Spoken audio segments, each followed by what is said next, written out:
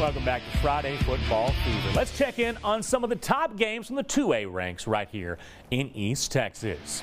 Garrison Bulldogs, they've been dominant down in deep East Texas, unbeaten so far this season, heading into tonight's road matchup with the Sandies in Grapeland.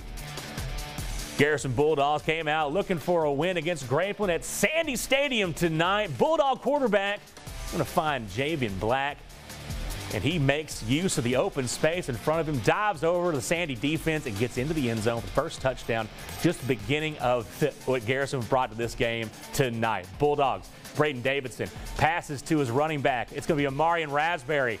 He spins his way and pushes through Grapeland defense, makes his way down the sideline. Another touchdown for Garrison. They're on the board.